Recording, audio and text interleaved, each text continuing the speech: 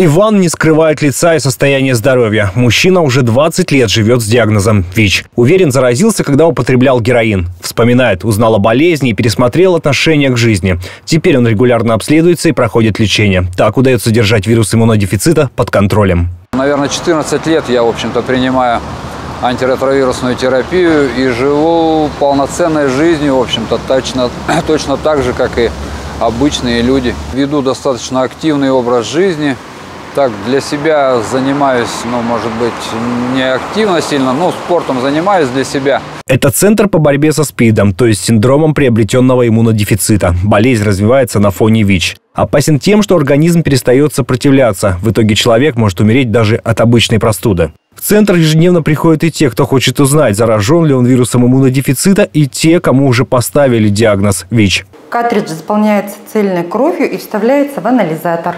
Специальный анализатор за 20 минут способен определить, в каком состоянии сейчас иммунитет пациента с диагнозом ВИЧ. Достаточно всего одной капли крови. То есть это легче для врача, позволяет установить стадию и назначить лечение для этого пациента.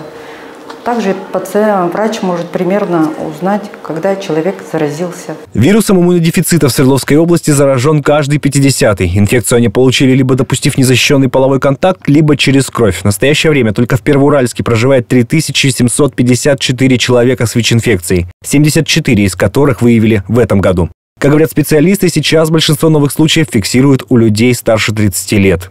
ВИЧ может передаваться и от матери к неродившемуся ребенку или новорожденному при грудном вскармливании. Но благодаря современному обследованию и медикаментам таких случаев в городе не выявляли уже три года. Как поясняют врачи, благодаря современным препаратам удалось сократить и смертность, а подавляющее большинство пациентов имеет неопределяемую вирусную нагрузку.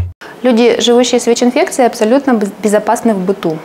Они получают обычные профессии, они учатся в институтах, э, работают на различных предприятиях, могут посещать все организации, магазины, бассейны. Здесь нет абсолютно никакого риска передачи вируса ВИЧ-инфекции. ВИЧ-инфицированных пациентов лечат бесплатно за счет государства. Победить болезнь нельзя, но контролировать можно. Также специалисты занимаются профилактикой, проводят экспресс-тесты. Узнать свой ВИЧ-статус, то есть заражены вы или нет, можно анонимно и быстро в передвижных лабораториях или центре по борьбе со СПИДом. Врачи напоминают, важно потратить несколько минут, чтобы сохранить жизнь.